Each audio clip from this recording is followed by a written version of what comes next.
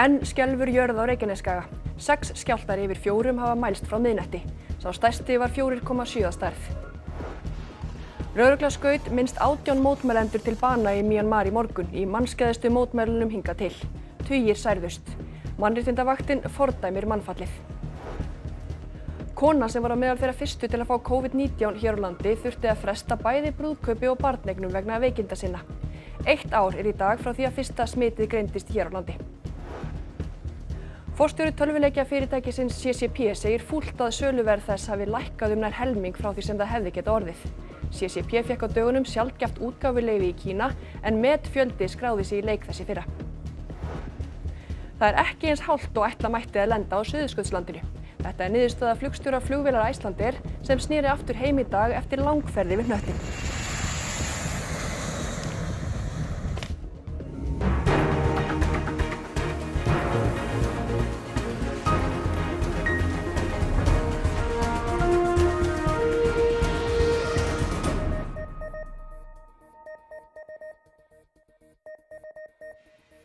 Komið sæl. Skjáltarhinunni á Reykjaneskaga virðist hvergi næri lokið. Yfir 30 skjáltar yfir fjórum að stærð hafa mælst í hrinunni. Það er af 6 frá miðnætti. Snarpir skjáltar hafa reglulega fundist á suðvesturhóttninu í dag. Hrinan hefur nú staðið yfir í 5 daga. Rúmlega 30 skjáltar yfir fjórum hafa mælst og um 200 skjáltar hafa verið stærri en þrýr. Í heildina hafa mælst yfir 10.000 skjáltar. Á fjórðatímanum varð snarpur skjálti af stærðinni 4,1 og um hálf 5 annar af stærðinni 4,3. Löst fyrir hádegi í dag varð einnig skjálti af stærðinni 4,3. Í morgun og rétt eftir miðnætti urðu svipaði skjáltar með upptök á svipuðum slóðum, suðvestur af Keili. Stærsti skjálti síðasta sólarhings var 4,7 um miðnætturbyll. Skjáltavirknin hefur verið nokkuð svipuð og síðustu daga og gengið í bylgjum. Almannavarnir fóru yfir stöðu mála á fundi í morgun. Engar frekari aðgerðir voru ákveðnar, áfram er unnið út frá tveimur sviðsmyndum. Það er að það drægi úr skjáltaverkni á næstu dögum eða að hrinan færist í aukana með stærri skjáltum alltaf 6,5 að stærð. Hættustegar enn í gildi fyrir Suðurnes, Höfuborgarsvæði og Árnusíslu. Líkt og áður er ekki talið að skjáltaverknin sé fyrirbóði eldsumbróta.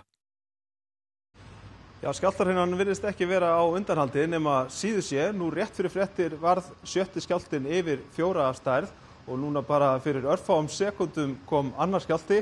Vitum ekki hversu stór hann er. Kristi Jónsdóttir er hérna hjá okkur. Ja, Kristín, hvernig myndur þú stöðuna svona á kvöldi dags? E, virknin er bara áframhaldandi eins og þú segir. Við erum bara í miðjum atbyrði. Uh, við höfum séð virknina í dag vera í aðlega nýrst í Fagradalsfjalli og ná svona keili.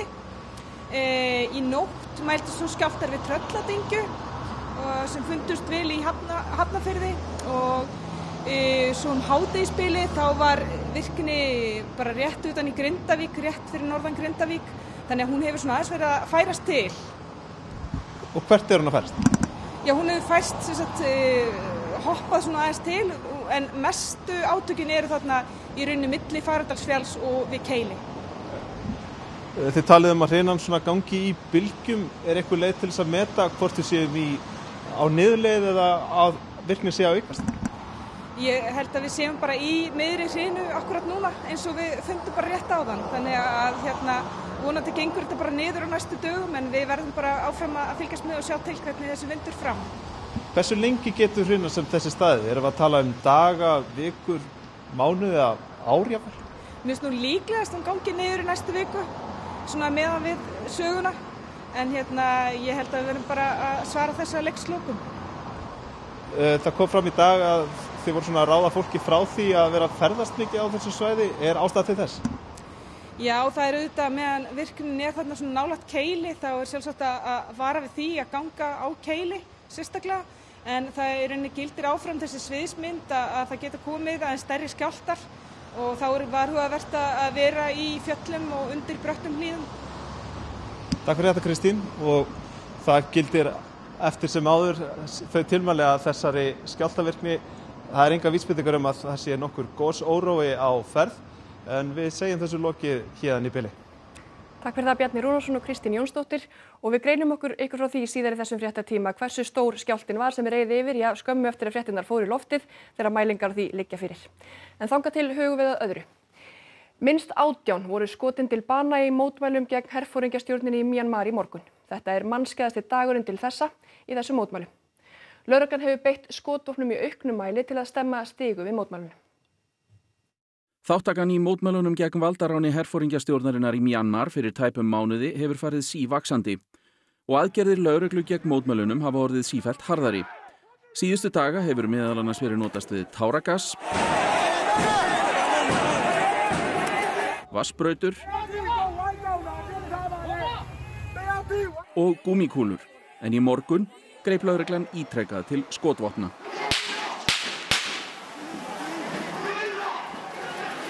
Þetta átti sér staði í borginni Dawei. Sá sem var fyrir þessu skoti lést af sárum sínum. Mannettindaskristofa Sæminuðu þjóðuna segir að minnst átján hafi verið skotnir til bana í mótmælunum í gær í alls tremur borgum í Mjanmar. Mótmælendur byggu meðal annars til vegatálma úr öllu sem til fjall til að reyna að verjast lauruglumönunum en í mörgum tilfellum döði það skamt. Human Rights Watch hefur fordæmt mannfallið. Live ammunition should not be used to control and, or disperse protests, and lethal force can only be used to protect life or prevent serious injury. Any deaths and serious injuries should be promptly and impartially investigated. Engan bilbu er hins vegar að finna á herfóringjastjórninni. Í gær rak hún sendiherra landsins hjá saminuðu þjóðunum fyrir ræðu gegn stjórninni. Þá halda réttarhöld áfram á morgun yfir Aung San Suu Kyi sem var leiðtogi landsins fram að valdaráni hersins vegna ákæru um brota á innflutnings- og sóttvarnalögu. Eitt ár er í dag frá því að fyrsta COVID-19 smitið greindist hér á landi. Veiran setti stort strik í reikningin hjá konu sem var á meðal þeirra fyrstu til að greinast hér á landi. Íslendingur er í einangrun á landsbítalanum með COVID-19 verusíkingu, sá fyrsti sem greinist hér á landi. Hann kom til Íslands frá Ítalíu fyrir sex dögum. Laurugla og helbreyðistarfsfólk vinna nú að því að kortleggja ferðir hans. Svona hófst fréttatími RÚV fyrir réttu ári síðan 28. februar 2020 og það við mikið vatn runni til sjávar síðan. Alls hafa 6.048 smitt til viðbótar verið staðfest. Af þeim sem hafa smittast hafa 29 látist. 45.916 manns hafa lokið sóttkví, 277.150 síni hafa verið tekin innanlands og 222.550 á landamærunum. Þá hefur verið lokið við að bólusita 12.564. Á meðal þeirra fyrstu til þess að greinast með COVID-19 hér á landi var Elisabeth Ögn Jóhannsdóttir, 32 ára akureyringur. Hún var svo fyrsta til þess að greinast á Norðurlandi en hún greindist 15. mars. Hún var þins vegar veikmun fyrr eða 1. mars. Og mig grunar að ég hafi smita cirka viku fyrr. Þannig að það hefur verið á Akureyri, þannig að þetta hefur verið komið hingað miklu fyrrheldur en við kannski heldum. Elisabeth veit ekki enn þann dag í dag hvernig hún smitaðist en það segir hún að smitið hafi komið sér mjög á óvart. Já, ég var mikið veik. Ég fekk svona vota lúnabólgu, ég var með hita í marga mánuði og þetta var, veist, ég var ekki, held ég ekki að það ekki verið lífsættulega veik en þetta var einhver svo svona erfiðasta veira sem er herja á mig. Og bataferlið hefur tekið sinn tíma. Já, ég var miklu lengur jafna mig heldur en ég hef nokkuð tíman gert mér í grein fyrir og ég er unni ennþá að jafna mig. Veikindin settu stort strik í reikningin hjá Elisabetu og manninum hennar, Kára Einarsinni. Við náttúrulega hættum við brúköpi sem var búið að plana heil lengi, átti að vera 20. júni og við hérna bara blésum því af og svo í rauninni eftir það að þá vorum við svolítið óviss líka með batneignir sko, það var svona búið að vera á planinu hjá okkur, við vorum svolítið að býða fram á brúðkaupi en síðan veist, var maður svolítið stressaður út af COVID, veist, hvernig veist, ástandi á manni væri og svona. Vi, við giftum okkur svo í hérna ágúst bara hjá síslumanni, við nefndum ekki að að býða lengur en Veistland býður ennþá. Og hvað barneignir varðar frestust þær aðeins um nokkra mánuði því Elisabeth er nú gengin rúmlega halva leið með þeirra annað barn. Við býðum aðeins en svo gekk þetta rosalega vel hjá okkur þannig að veist, í raunin er þetta ekkert rosalega mikil sengun ef maður, maður hugsa um að það er ekkert sjálfgefið að, að geta barn hvernig sem mann er dettur í hug. En ég myndi segja að þetta hafi bara gengið nokkuð vel en auðljóslega voru plönun okkar stoppuð á ymsan hátt. Ég er svona, fórum aðeins setna út í það heldur en við mætla okkur þannig að lífið í rauninni er búin að setja mann svolítið á annað spór en í rauninni þá hefur við verið rosalega heppina því að hlutin hafa rauninni gengið vel hjá okkur þrátt fyrir að hafa þurft að breyta um stefnu í ýmsu. og lengri útgáfi af viðtalinu við Elisabethum að sjá á vef okkar rúf.is. Og þar má einni, sjá ítalega umfjöllunum faraldurinn hér á landi í tilefni af þessum tímamótum. Forstöri tölvuleika fyrirtækisins CCP segir fyrirtækið aldrei hafa verið í sterkari stöðu, þrátt fyrir að söluverð þess hafi lækkað um nær helming frá því sem það gat mest orðið. Fyrirtækið hefur, með aðstóð íslenska stjórnvalda, fengið leifi til að gefa út farsímaleik í Kína. Á meðan ímis fyrirtæki berist í bökkum í faraldrinum hafa mörg tölvuleikja fyrirtæki sótt í sig veðrið, samlega samkomu takmörkunum á meiri einverum. Þar á meðal er CCP sem gefur út tölvuleikin EVE Online. Það var með þetta ár í, í nýjum nótendum að koma inn í EVE á síðast ári. Það voru 1,3 miljón manns sem að hófuð sitt ferðalag í EVE Online. Og við sjáum alveg mjög greinilega hvenar að, að heimurinn byrjar að loka. Það er alveg sérst á okkar gögnum mjög skýrt. Fyrirtækið réð tæplega 60 starfsmenn hér á landi í fyrra og stefnir á að ráða alltaf 30 á þessu ári. Það hefur ansi verið brett upp ermarnar hérna í nýsköpuna umhverfi á Íslandi sem hjálpar öllum fyrirtækjum í þessum innaði, smáum sem litlum. Suður kóriska fyrirtækið Perla Biz kefti CCP árið 2018. Ekki tókst að uppfylla árangurstengt tekju viðmið í kaupsæningnum og lækkaði kaupverði því úr rúmlega 54 miljardum íslenskra króna í tefla 29 miljardar króna. Eigendur örðu þannig af um 25 miljardum. Það er bara reynilega fúlt. Það er í og með skýrt af því að, að leifi til að gefa út á kínamarkaði komur setna en við áttum vona á sem er vegna stóra skipulagsbreytingar sem að kýmarska heimsveldið er búin að vera sísla með síðust árin þannig að það hafa engin leifi verið gefin út. Hilmar segir þessa lækkun á verðinu ekki hafa áhrif á reksturinn. Rekstur fyrirtækinsins er, er þess að mörgleiti ótengtur þó að hann sé það sem er notað til þess að meta söluverðið en eins og ég segi það, það snýst út af þessu kínamáli sem er núna leist en það bara leysist tveimur árum eftir áallum en fyrirtæki hefur aldrei verið starkari stöður fyrir vikið. CCP hefur nú fengið leifi fyrir útgáfu tölvulegsins og farsíma útgáfu hans á kynversku markaðim. Það var gert með aðstóð íslenskar stjórnvalda en sjálfgeft er að kynversk stjórnvöld veiti erlendum fyrirtækjum slík útgáfu leifi. Ef það var einhvern tíman gott að vera Íslendingur þá er það akkurat núna þegar Kína og Bandarækin er í einhvers konar viðskiptastriði þá geta svona minni lönd hlaupið undir og, og, og gert þetta. Og jarðskjálftinn sem fannst núna í upphafi fréttatímans rétt upp úr klukkan 7 mældist 4,7 samkvæmt upplýsingu frá Viðstofu Íslands. Hann var því jafnsterkur þeim sem mældist upp úr miðnætti í nótt. En er ekki vitað hvað varðum ríflega 300 skólastúlkur sem var rænt í Níkeríu fyrir helgi. Fadir fjögur á stúlkna sem var rænt segist byggða til Guðs um að þær komist aftur heim. Stúlkonum var rænt úr heimavistaskóla í borginni Yangepe í nordvestur hluta Níkeríu. Að sögn vittna var það hópur manna með byssur sem namn þær á brott. Einn þeirra slapp þó naumlega. sai ta ce ga ɗakin sunan sai sun kaje suna zuwa sai guda ja hannunta ya mare ta sai ya ce to ta wuce duk sai ya ce kowa ya shiga ɗaki a kore saura ana kore saura sai ya ce su wuce su tahi Hún komst undan með því að fela sig undir rúmi. Fjórar systur voru hins vegar ekki svo hefnar. We are praying to God let them let God guide them from the evils of the towers. This is only what we can see, but we cannot imagine their situation. Frans Páfi fordæmdi ránið á börnunum í ávarpi í dag. Barnsrán af þessu tægi eru algeng í Nígeríu. Fyrir tveimur vikum var 38 börnum, kennurum og fjölskyldumæðlumum þeirra rænt í öðrum skóla í borginni Kagara. Þeim var sleft í gær og eru ómeittað mestu en sum í miklu áfalli. Það sama gerðist þegar samtökin Boko Haram rænduð 340 börnum í desember. En börnunum er þó ekki alltaf sleft og til að mynda hefur ekkert spurst til um 100 barna sem sömu samtök rændu fyrir tæpum 7 árum. Tilgangurinn með þessum ránum er einfaldur, að fá lausnargjald. Stjórnvöld hafa verið söguð um að fallast á þá kröfu og íta þannig undir að fleiri slík rán séu framinn. Fósetti landsins hefur neitað því og segir slíkt ekki koma til greina. Engu að síður er talið að svona ránshópum fari fjölgandi þar sem fátækt er mikil. Í janúari fyrra tók kona í Vestmanneim við rekstri heilsugæslu í þorpinu Kúbunei í Gambíu. Draumur hennar er að byggja þar fæðingastofu. Reksturinn fjármagnur með sölu á nótuðum fötum og hlutum frá eigamönnum. Þetta er Kúbunei í Vestmanneum, umhverfisvæn verslun. Á hlið húsins er lúa þar sem fólk getur komið með heillegt dót og gefið eða bara kíkt inn. Og þar er nóg að sjá. Auk þess notaða hafa handverkskonur í eigum gefið vörur til að selja og nú er til dæmis hægt að fá barnahúfur sem saumakennarinn í barnaskólanum lagði til. Að reyka heilsugjæslu fyrir mig er í rauninni bara út við að peninga og auðvitað vera sko næstu því í daglegum samskiptum við það er strákur að nóti sem heitir Úsmann sem að í rauninni rekur hana og það þarf alltaf að koma fram að hver króna sem kemur hérna inn, hver einasta króna fer bara í þetta verkefni. Mm -hmm. því er engin á launum og, og ekki neitt. Þannig að þú kaupir hérna 66 úlpu á 2000 skall það fer bara 2000 skallin í þetta.